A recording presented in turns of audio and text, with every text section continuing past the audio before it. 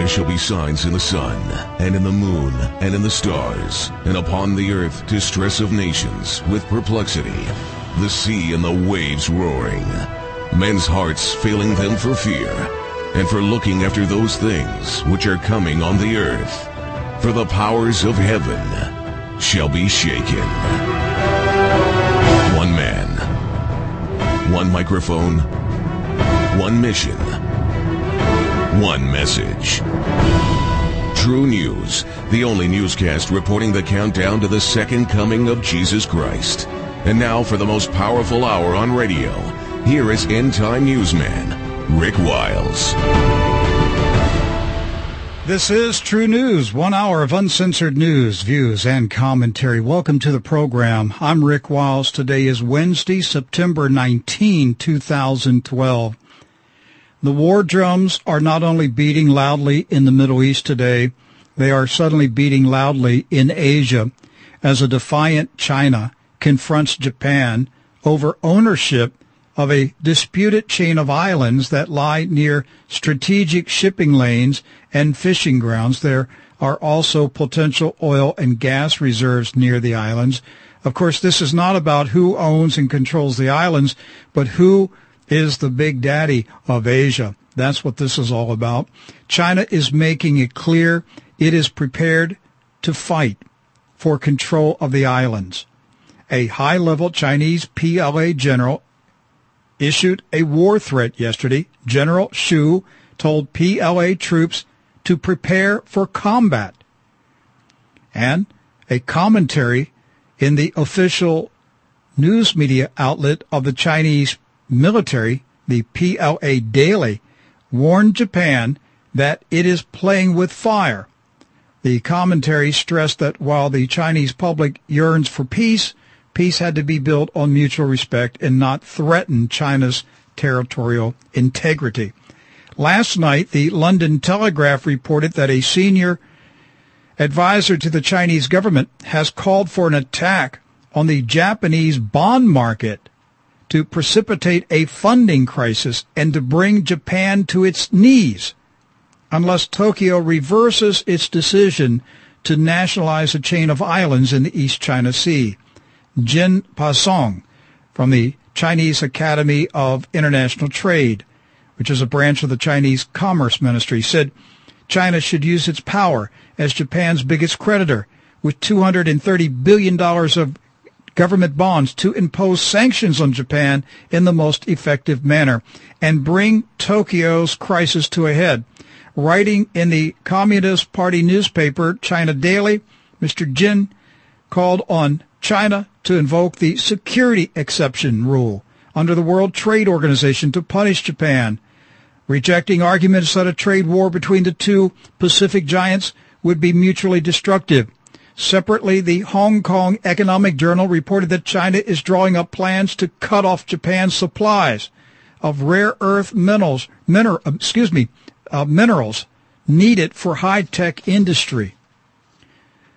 Also, China dispatched three naval patrol boats to the islands yesterday. Japan responded by deploying 50 patrol boats to the area in the East China Sea. Violent protests against Japan have spread across China in recent days. Japanese stores, restaurants, and car dealerships in China were attacked by mobs. Protesters called uh, Japanese, excuse me, protesters referred to the Japanese as dogs some signs demanded that the USA repay the trillion dollars owed to China. A car transporting U.S. Ambassador Gary Locke was attacked by a Chinese mob yesterday. The car was damaged, but the ambassador escaped without injuries.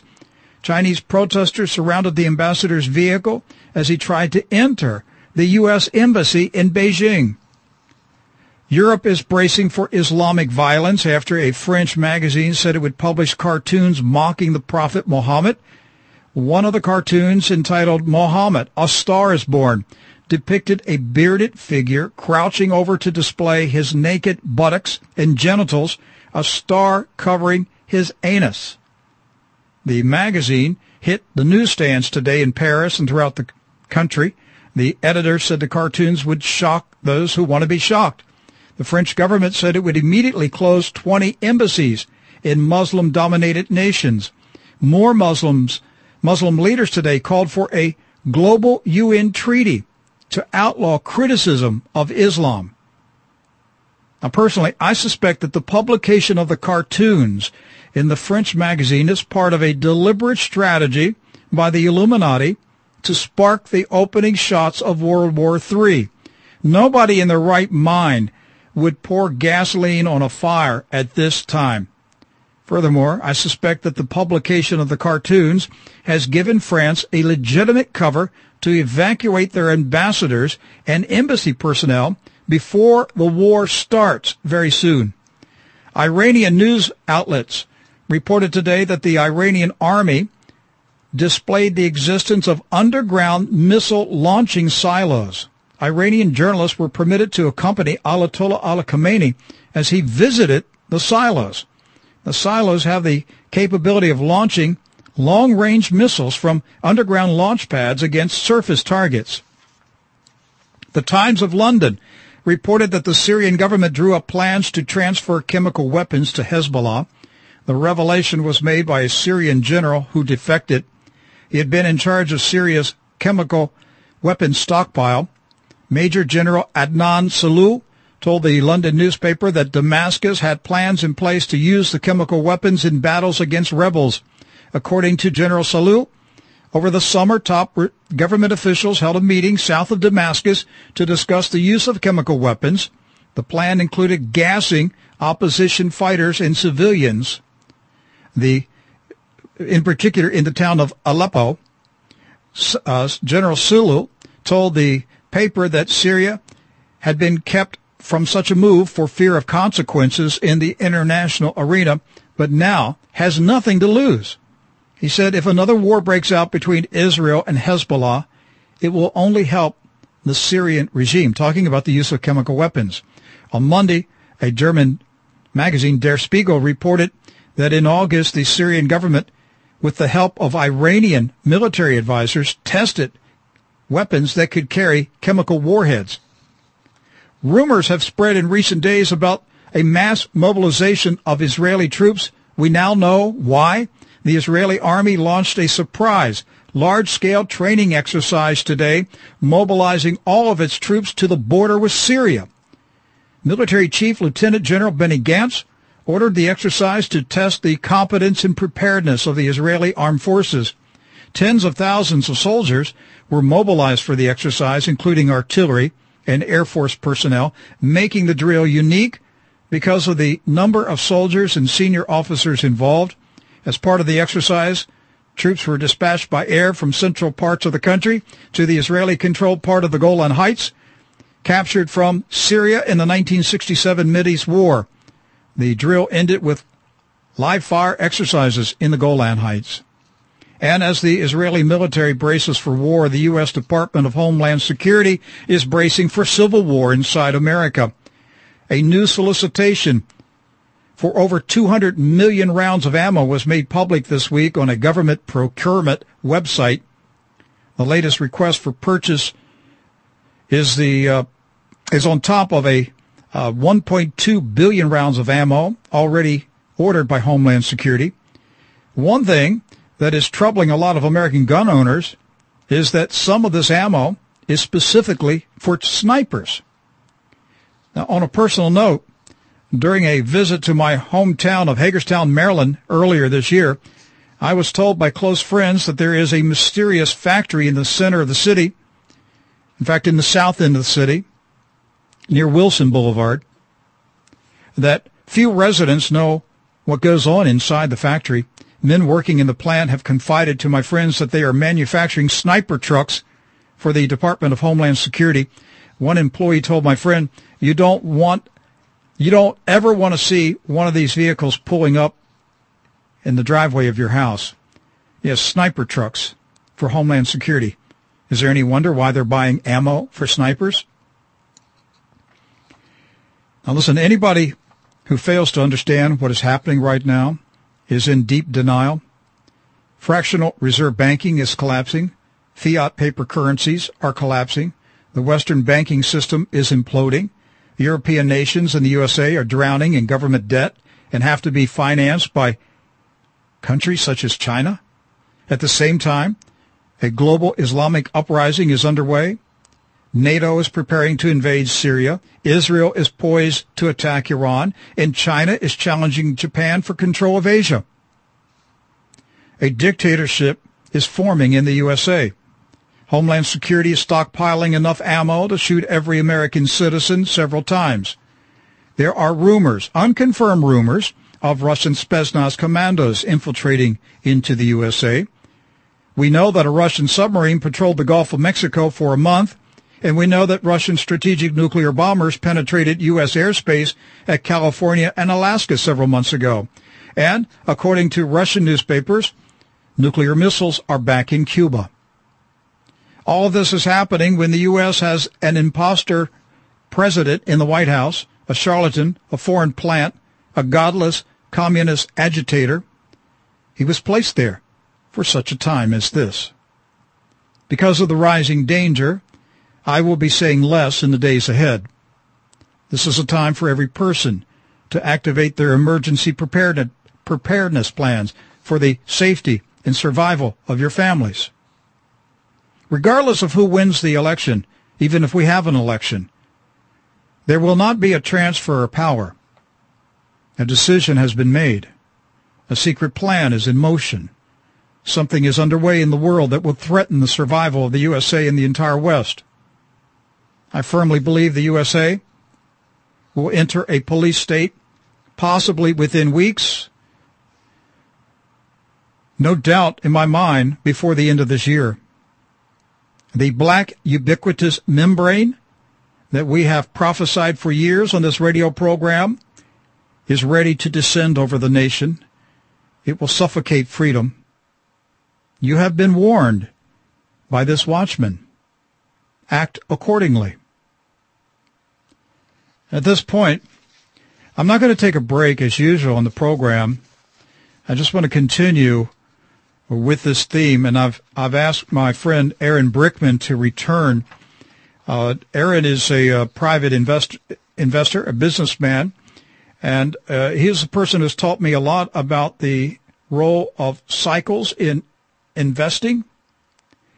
And we had Dr. Steve Pitts on the program last week who explained to us his theory about a correlation between lunar cycles and major collapses of stock markets. And I, I had uh, Aaron on the program following Mr. Pitts's uh, interview to help us understand it. We ran out of time. I asked Aaron to come back, and the world has changed quite a bit in one week. Aaron, um, I want to get into um, continuing to talk about the, the cycles and, and the stock market, but before we go there, let's just take a little bit of time to talk about the geopolitical events that are taking place right now. Since you were last on the program, I mean, we, we've we're watching uh, now China rise up against uh, Japan. Uh, we're seeing the protest with the Islamic uh, mobs around the world. What, what, are your thoughts as you watch these things?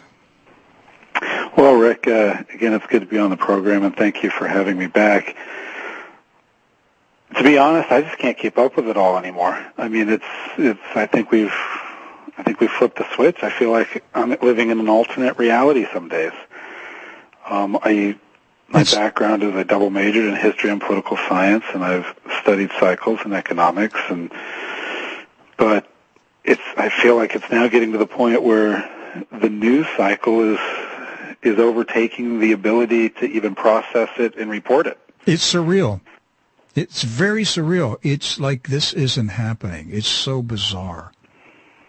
Very, very bizarre. And and and I know exactly what you're saying. I at times I'm I'm ready just my mind, my spirit just to shut down and say, I I just don't need I don't need to know anymore. It's this is out of control now. That's the way I feel. I mean, I think we've been warned of these events. The God's raised up prophetic men and women who have been able to see in part, and I think we're seeing the details, or at least the outline now. Um, timing is always tricky. Only the Lord knows that, but it clearly prudence would dictate that that times are changing, and they're changing by the hour. And you know, this is just the stuff that's being reported. This isn't the this isn't the real reality that the military and the intelligence agencies and very connected people on Wall Street are, are aware of. So as dark as it as the mainstream media is, it's the reality is much more ominous behind the scenes. Yes, it is, and there, I, I have been, I have been given. Uh, let me put it like this: um, tidbits of important information have come my way in recent weeks from various sources that clearly it was it was divinely ordained by God that people that I know would hear a conversation, be told something by somebody in a high level position to know. Oh, it's been a number of things. I mean, I'm, I'll give you an example. We had Nathan Leal here a week or two ago. Nathan was told by a person. I, I can't give out the person's uh, position, but he was at a party in which uh, a, a person at that party, uh, it was a birthday party for a family member, and that person was a retired U.S. government uh, intelligence agency employee who confided uh, to to Nathan's friend that there will be a food shortage and food will be offered in return for the surrender of firearms, that there will be a food for guns exchange program. And this person said, this is not just a rumor, it's not a conspiracy. I have seen the working documents for this plan. I mean, we know about Doug Hagmann's source. There, there, there has been a steady flow, Aaron, and you and I have conversations privately. You know what I'm talking about. Various people are telling me things that it's like, why is this? How is this coming to me? Why is this flooding in right now? And I'll, I'll, I'll give our listeners another one again without giving out the source.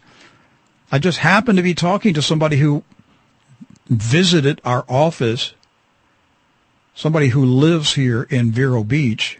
Well, not Vero Beach, in, uh, let's, let's say the Treasure Coast of of Florida, uh, who, um, not knowing what I do, what I say, what this program is about, but as the conversation changed, this person uh, confided to me that her brother formerly worked in the White House under a former administration at a very high level and that he was telling her privately that many people in that former administration are concerned that Mr. Obama will not leave the White House and that these this her brother is making private plans for his own protection and safety around the election.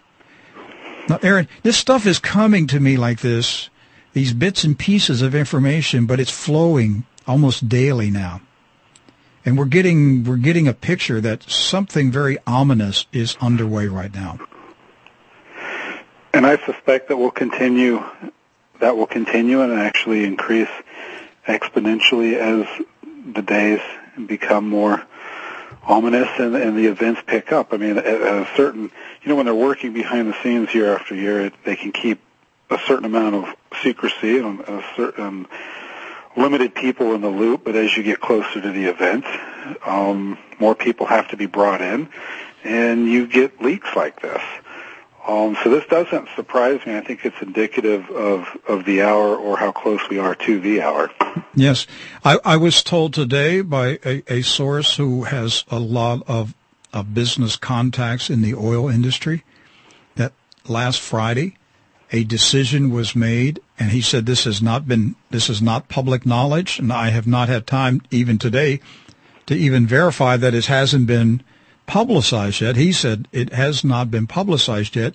That last Friday, a decision was made that Russia will supply China with a significant amount of oil over many years, and that China will pay for the oil in Chinese yuan currency, not using the U.S. dollar as the um, global reserve currency for the transaction of oil sales, and uh, that this decision will be made known in the near future. But he said, I know for a fact it's a done deal. It's already, the deal was sealed last Friday.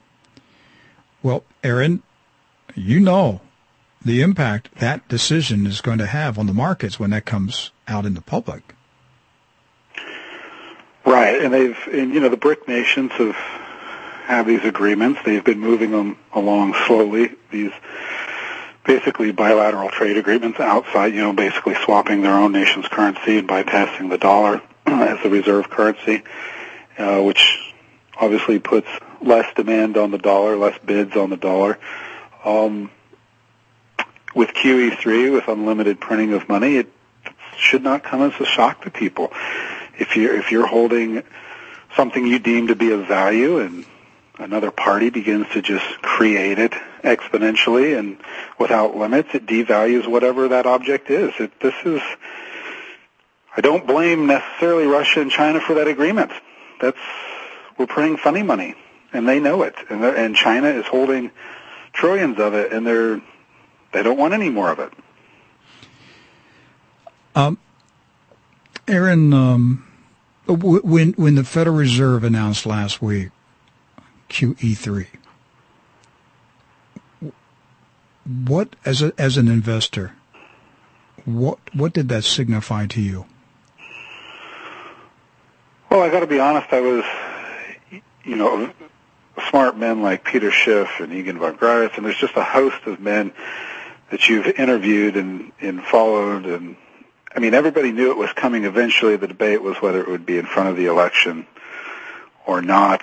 I think they my assessment is they panicked. My assessment is that it, obviously they know what's going on behind the scenes with the banks. This money is not going to you or me. It's not going to be loaned out. None of QE1 or 2 was loaned out. This is basically to backstop the banks and the derivatives. And um, it's going to drive up food prices. It's going to obviously the immediate effect was gold and silver. Um, and they said this is unlimited. It's unlimited, and, and it has to be unlimited because their debt that they're sitting on, while it's not unlimited, it's it's beyond it defies imagination. When when, so, when we say it's un, that, that this announcement of QE3, the uh, more money printing, that, it, that they said it's unlimited, what it means is there will not be a QE4, 5, 6, or 7 because what Mr. Bernanke said last week is from now on, we're not going to stop. It's, it's, it's till the moon turns blue. We're just going to print money. Of course, Jim Willie's been telling us this all along that it's, it's a continuous, uh, endless printing of money. Uh, Jim Sinclair has been saying the same thing. It's print money, you know, for eternity. Uh, so, but they're they're now publicly confessing and admitting that they're going to run the printing presses 24 seven. Well, and they've shot their last round. The the public is beginning to wake up, and Wall Street, if there's if there is a, another dip, if I mean the the economy the economy and Wall Street are, are two different economies. Um, but if the if Wall Street if the numbers for the economy keep coming in as poorly as they have the last couple of months, what's their solution? There is no solution. They they should they the markets are going to eventually call the Fed's bluff. Uh, we used to have in the the late 90s and turn of the century we had the Greenspan put we now have the Bernanke put. Basically, it's this belief that they will do whatever they can to, and whatever is in their power to maintain the, the price of the stock market. Aaron, what? Referred to, no, go ahead. And it was referred to as the Greenspan put. It's now the Bernanke put. Um, I take issue with that. I mean, the market will at some point, and it always does, it will overwhelm the ability of the controllers. And I think that that's where Steve Pitts comes in is identifying these windows, and all they are is is conditions, almost like a hurricane. You know, we know some of the the conditions that have to be present for the creation of a hurricane. That doesn't guarantee that the hurricane will form, and it certainly doesn't guarantee the the intensity of it. But these are conditions, and I think that that's what Steve Pitts in that interview was we were trying to lay out is is we are entering the conditions are there. A time window is opening. Uh, war, or at least rumors of war, are swirling, which would give the controllers good cover for losing control. And it would be prudent for investors to um, to note that and to understand that that it's not business as usual anymore. The market, through a number of of metrics, is extremely overvalued right now. Uh, bullishness is approaching what's considered record levels that usually are indicative of tops or at least a topping formation. Steve Pitts laid out some time windows. So, I mean, it seems like the conditions are at least are at least forming. Aaron, last night when I read that the French satirical magazine was going to publish these cartoons mocking the Islamic prophet Muhammad, showing him, you know, butt naked. I just, I can't believe this. Who in the right mind would do this right now with with tensions this hot? I mean, to me, my first thought was this is deliberate. This is a calculated decision by the Illuminati. This is this is this this is being done to deliberately stoke the fire, make it red hot, get this war going. What do you think, Aaron? Well, I couldn't agree more. You know, I am I have I do not support the, the Muslim faith. I am I am not a Muslim. I am a Christian.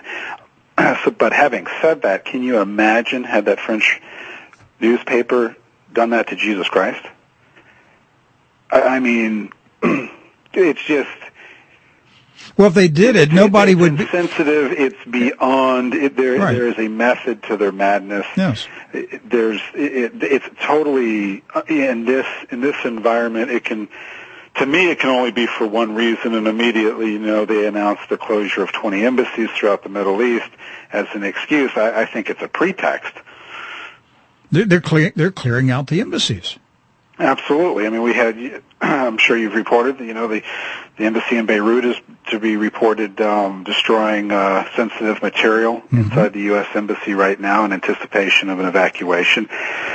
So uh, the next day, you you have it reported uh, this incident with the French embassies. Um, I think they created a a, uh, a pretext, and I think it's. I think a lot of the public is going to be able to see that. Mm-hmm. What what what was your thought on this uh, Chinese threat to take down the the Japanese bond market? Well, the Chinese make a lot of threats. Uh, you've interviewed some some scholars who who have noted that. However, the Chinese are going to the Chinese are positioning for the downfall of the United States, and they're they've they've got a couple of scores to settle with the Japanese. There's no love lost between those two societies historically, and um, I think the the Chinese are going to to use the chaos, to use the global confusion, the inability of the United States to to stick its finger in every hole in the dike, and I suspect that the Chinese will. I mean, at some point, it would not surprise me if tomorrow morning we're hearing about the Chinese and the island of Taiwan and the issues they have with them. I mean, I think we're going to see a lot of outbreak of hostilities. I would suspect that China will move to regain territory like Taiwan and the various islands, while the U.S. is busy fighting Muslims in the Middle East. I mean, I would. I mean, you know, nations are are no different than. I mean, they are run by men. They are no different. They they do things in their own self interest. Um, I would expect China to to operate within its own self interest, and it's debatable you know, it's debatable whether they would actually dump the Japanese bond market, but rest assured, if that happens, everybody goes down with that ship. All right. And I mean, every every the economy would crash within 24 hours. I mean, you cannot have a wholesale dumping of of the Japanese bond market, and that would precipitate selling on U.S. Treasuries, and there you go. That's right. But there have it would been certainly be an it would certainly be a another way to attack the United States indirectly. Mm-hmm. But there have been some prophetic dreams that people have had about a global financial crisis emanating from Tokyo and waves of of financial collapse going out like ripples in in a lake, uh, leaving Tokyo, going time zone to time zone, closing markets. So when when I read that last night, that was my first thought. Here we go. Um, if Tokyo sinks, it will it will be the beginning of the crash of, of, of the whole economic system. All right, let's let's go back and talk. Uh, let's pick up where we were at last week. We were talking about Dr. Steve Pitts and his theory, where he links market crashes with lunar cycles. Uh, give us the, you know, the, the Brickman synopsis 101 of that theory. Well, simply put, just to shortly reiterate what what you covered in that last hour with him, is that market panics. He identified that eight of the greatest crashes all have the same signature. Subsequent to this writing, there's been about four or five more crashes that you could add to the list that, we covered last time. So we're we're definitely you know 12 to 14 that that that have been identified that have the following signature, and it's that the market begins to panic six days before to three days after a full moon that occurs. It must occur within six weeks of a solar eclipse. We have a solar eclipse in mid-November. So the Steve Pitts postulate would be that a you basically find your full moons as the panics could begin as early as Monday, September 24th, or and it could cover all the way basically out to mid-December. Um, historically, they have the panics typically come after the full moon, after the solar eclipse. However, one of the um, one of the most notable crashes that defied that and occurred before the solar eclipse, of course, was the great crash in 1929. So the Pitts postulate is it can be on either side. It typically is after the solar eclipse, but it could be before. And with the hostilities that we have seen even in the last week since that interview, um, I had postulated that you know the the panic could begin as soon as Monday the the 24th we're now seeing um, certainly rumors of wars swirling. Um, I would I would want to stop and be very clear. I am not saying the panic begins on Monday the 24th. I am saying that that the conditions are now. It, it's eerie, but the conditions are now forming near those windows. And have we seen any other omens, you know, like the Hindenburg? We've seen Hindenburg omens in July, which are good for four months. They were triggered twice in the last week of July. Um, not every Hindenburg omen ends in a cataclysmic crash. However, all crashes have had those signatures. Um, we've got. And, and can you got, can you explain? I mean, in layman's term, what a Hindenburg omen is? Well, a Hindenburg omen is going to have to it has to do with new highs and new lows and advanced decline, and there's about seven caveats to it's an extremely complex indicator. If you if if anybody's interested in it, they could Google Hindenburg Omen. It'll give you the exact because it's really I think about seven seven criteria that have to be fulfilled. If one of those seven is not fulfilled, you don't have it. So it's an extremely specific technical marker. Um, and it, we don't have them all the time. And, what, and basically, what it what it shows is that you have a dichotomy in the market. You have extremes both ways in a very short amount of time. So you're generating a lot of highs, a lot of lows, in a short amount of time, and that's just that's a fractured market. Okay, you know, so so there was a Hindenburg, two Hindenburg omens in the market in July. They're good for four months, which means a, a crash could take could take place four months within four months of a Hindenburg omen. That would take us up to November. But as you said, not all Hindenburg omens end in a crash, but all crashes have had a Hindenburg omen. Correct. I mean, 2008, 1987, 1929. Um, they're going to have they're going to have those technicals, and there's a number of other technicals that that people would look for. Um, uh, the amount of bullishness that is prevalent in the market. Um, we're getting into. There was an article today posted on Zero Hedge about this exact topic, noting that we're now approaching the levels of bullishness seen at the 2008 high, the 2007 high. It's uh, we're not quite there yet, but we're you know you get these these these crashes. Crashes occur not because there's a because there's a there's a balance within the market. It occurs when you have a high distribution in one direction. Typically, obviously, it would be bullish, and a source of data, an event, whatever it is, comes out to instantly change the herd. Of course, not everybody can sell at the same time. You have a lack of bid in the market, and you have a crash. So, I would think, having having played a couple of crashes in the past, but nothing like nothing like what we're facing right now as far as geopolitically. It is my belief, and it's just my personal belief, that you will not see this coming.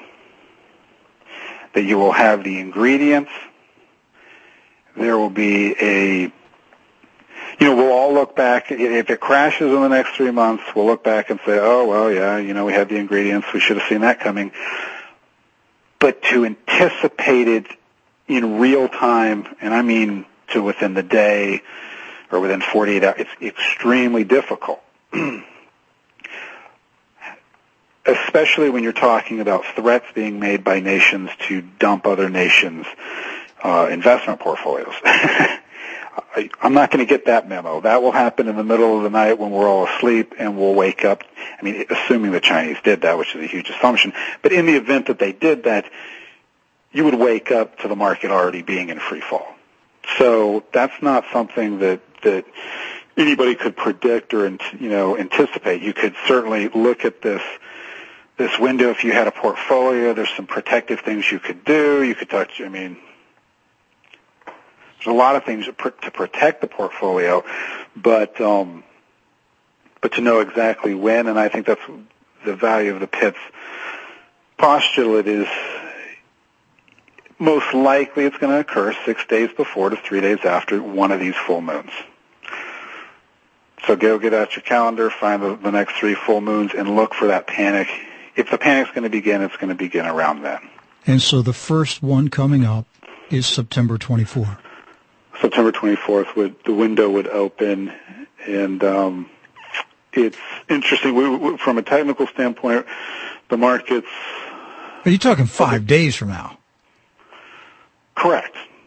And nobody thinks that's going to happen, and I'm not going to, and I'm not saying it's going to happen. It's the the, but you have the conditions there because you have you have everybody believing, and this is what's important. You have everybody believing and getting into one side of the economic boat you have everybody believing that the Fed has rescued the markets. And because of that, the amount of put buying, the amount of insurance that, that, that they're going to take out, the degree of leverage they're going to apply to their portfolio increases, and it, and it sets the it can certainly set the condition where if there is an event or extremely negative news hit the market and they're they're they're they're not positioned for it. And yes. that's how you can you create a panic. Yesterday, Dr. Steve Pieczenik, I think I'm saying his name close to being correct, former S- Assistant Secretary of State under, I think, three presidents, three or four presidents, going back to Nixon with uh, Henry Kissinger. I mean, this guy is an inner circle guy, a CFR boy. Uh, he was on Alex Jones's program. He told AJ that he fully expects Bibi Netanyahu to start the war on Iran next week during Yom Kippur. I mean, he flat out said he is convinced it's going to happen next week. I believe John Galt uh, last week when you interviewed him uh, alluded to that as well. Mm-hmm. What's your gut feeling? well, I mean, forget that you're on international radio and you'll be held accountable for everything Yes, that you're exactly. saying. Just pretend you're talking to me. oh, talking to you, oh, for sure it's going to happen. Oh, okay. Um, All right. No, I think that um, the Israelis, like John Galt pointed out, and I agree with him, it, the Israelis are known for being unconventional. So you, you, would that surprise me? No, I mean, it would not surprise me. Would I, would I take, um, you know, I'm a, I trade the markets. I mean, and I'm not an active trader, but I position trade.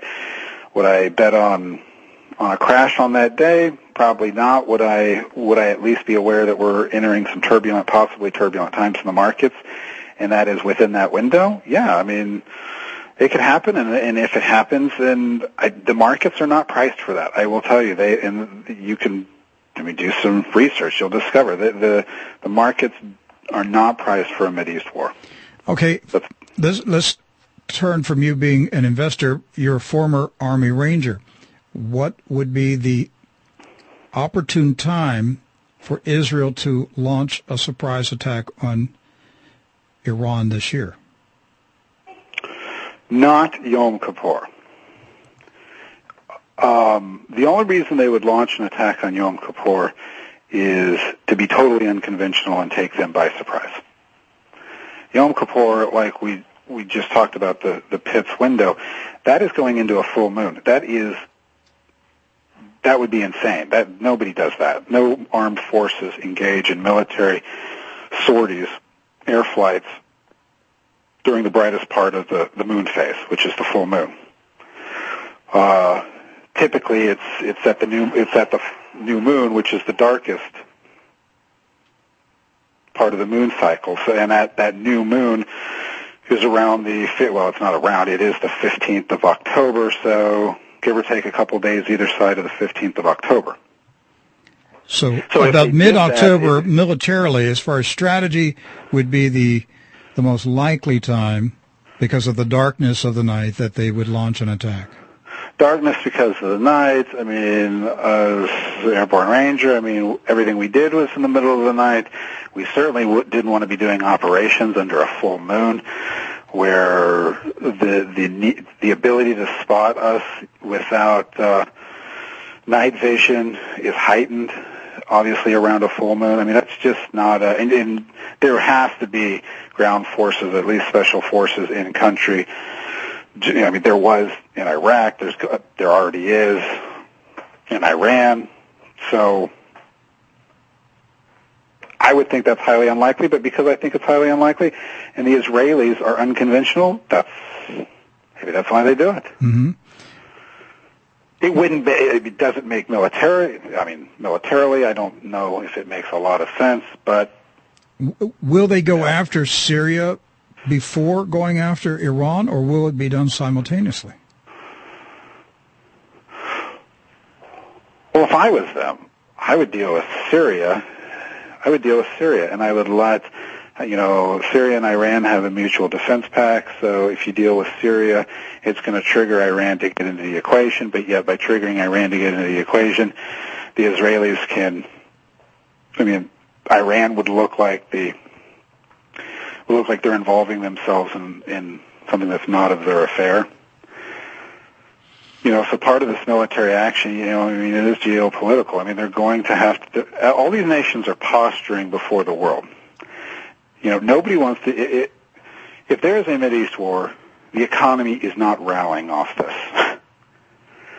There might be a temporary injection of liquidity by the Fed, but if you touch those oil fields, and by all accounts, Iran has already threatened to attack the oil fields in Saudi the markets will not will And to close and to close the Strait of Hormuz. and they'll close. Yeah, that's they will definitely do that. So it's not it's it, it's not going to be good for the markets in general for the global markets. Who wants to get blamed for that? I mean, what country with with with, with all the with the state of uh, the economy globally, who wants to be blamed for that? Well, uh, you would have to um, either bait and goad your enemy to do something, or you know, plant evidence on your enemy to justify the attack. I mean, that that's always a possibility that something happens very soon that countries are able to say, look at that. We've been warning. Uh, Syria has massive stockpiles of chemical weapons. Uh, we have evidence they were used. Uh, we have to go in. I mean, uh, Mr. Obama has already stated that even the threat of using, he said the threat of using chemical weapons or moving the stockpiles would be the red line that if they crossed it, he would order a military invasion of Syria. So perhaps perhaps what's coming up on September 24, or I should say Yom Kippur 26, maybe it's an invasion of Syria. We just had today this uh, surprise massive drill where tens of thousands of, of Israeli troops were were deployed to the Syrian border. I mean, we've heard for days that there was a, a massive mobilization of troops and and armored vehicles and artillery and air, you know missile batteries going up in in Israel. Now we know what it was all about. They they moved the troops to the Syrian border. And we also have naval maneuvers in the Persian Gulf by over 20 countries that is a 12-day exercise that does not conclude until Friday of next week.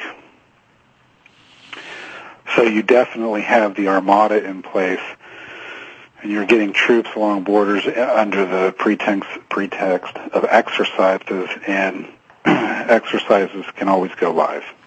And we have the UN General Assembly next week. Uh, Ahmadinejad is speaking on Yom Kippur, and Mr. Netanyahu will be there. Uh, he will not have his meeting with with um, Mr. Obama because Mr. Obama has got to be on the Jay Leno show and doesn't have time to meet with world leaders to stop World War III. So crazy stuff could happen next week, Aaron.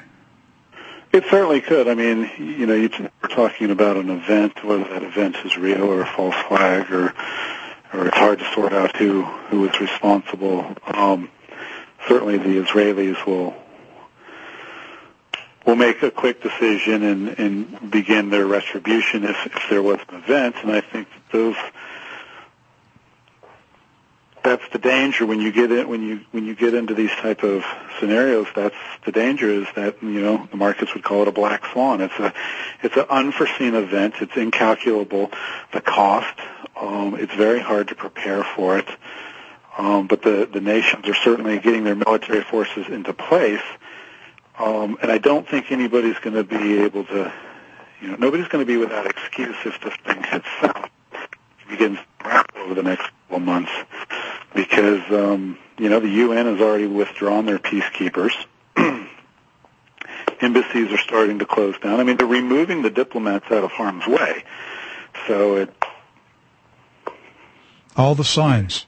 The war. All the signs for military action are, I mean, this stuff, in my opinion, is so choreographed because, I mean, can you imagine if if all the nation's diplomats were caught in the midst of of a full scale war, and you're, you're having well, they'd get know, the same treatment as uh, as the the Libyan, uh, our ambassador to Libya.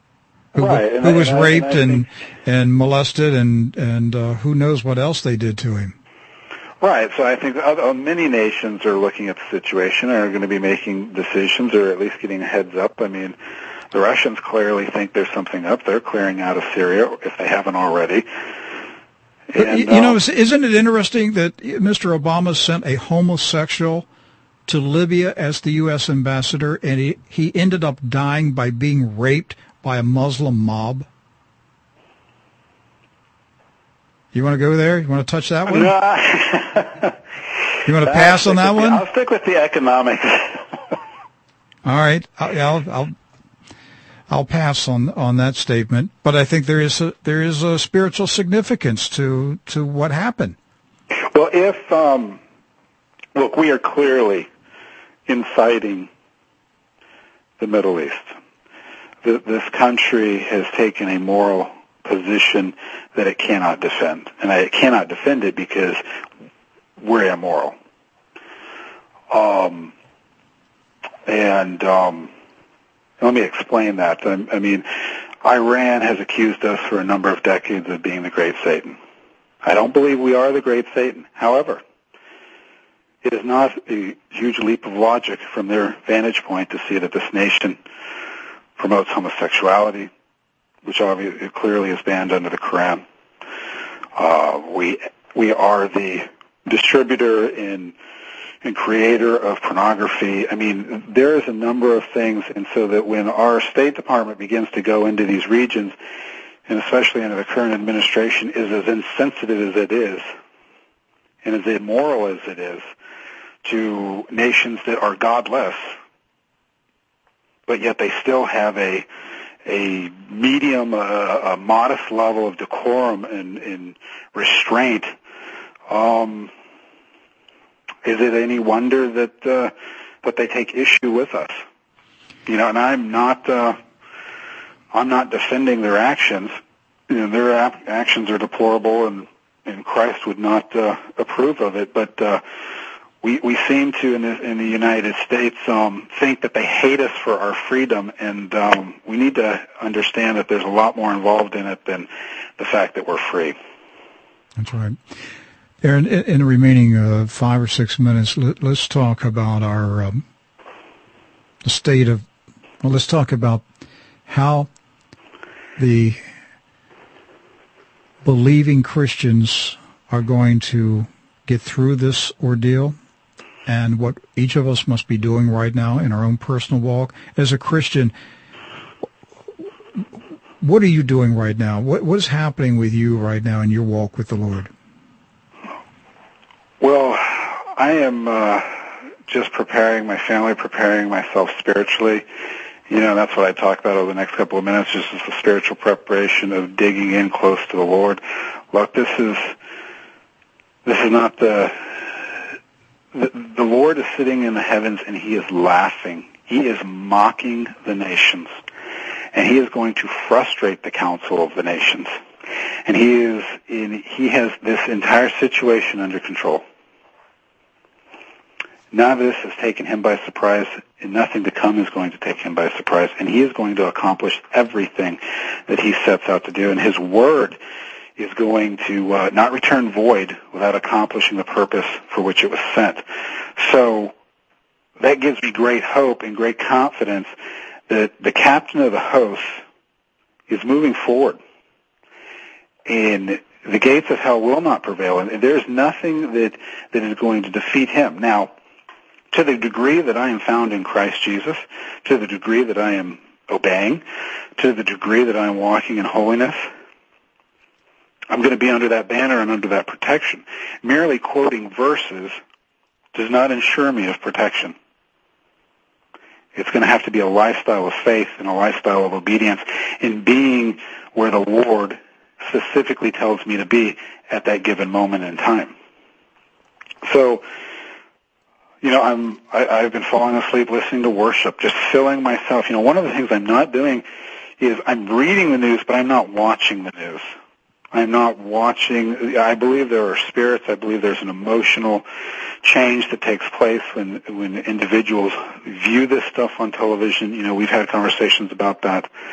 It's one thing to to read the news. It's another thing to have the corporate spin on it, the images, the music, the fear. It, it's a whole production. And I, right now, I need the peace of God in my family. I need the peace of God. I need the mind of Christ. I don't need the I don't need the uh, the the court jesters of Babylon chattering in my ear. And that's what a lot of this stuff is, is just chatter. You know, we're supposed to be aware of the times, but our stability is in Christ. And so I'm just, I would just encourage people to just dig into Christ. One of the things I'd encourage those with means to do is begin to look for opportunities that God is going to ask businessmen and women where are they going to sow? Because right now it's a time for sowing. It's a time for sowing into sowing the Word of God as well as sowing money into ministries or into people that He brings into our path. And I, I know, Aaron, from just talking to you privately, uh, you and your wife are you're very aware that that uh, there's coming a day that you will be rescuing Christians who will be trapped in in, in very difficult places.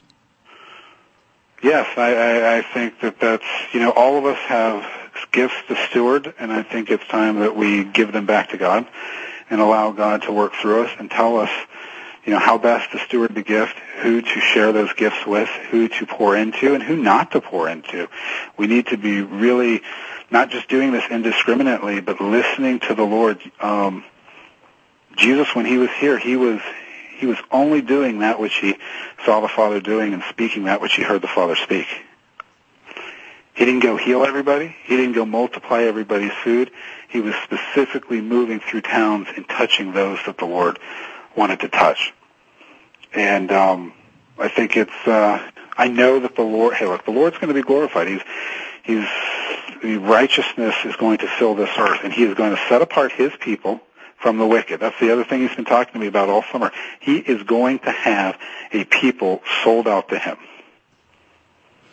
and so it would behoove me and anybody listening to this message to run to the Lord. You know, the, there's a scripture in Second Chronicles chapter 16. The eyes of the Lord look to and fro throughout the earth, that He may strongly support those whose heart is fully His.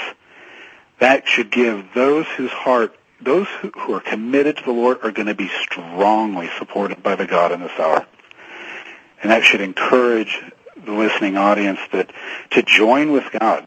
Don't ask God to join with you you know, when, when the captain of the host appeared to Joshua and Joshua said, "Are you for us, our enemy?" That was he was he was corrected. Was Joshua for the captain of the host? Was Joshua on, on the Lord's side? And as long as he obeyed the Lord and did the command of the Lord, he was victorious. And when he sought counsel elsewhere, when he made alliances elsewhere, when he trusted in his own strength, it did not go well with the Israelites. And there has never been, I've never seen in my lifetime, a time when you you need to know that you are walking upright before the Lord, that your your life is is right in His eyes, is pleasing in His eyes, uh, that there is no hidden sin in your life, uh, that your affairs are in order, that you are aware that this could be your last day on the planet. Uh, I'm not overstating it.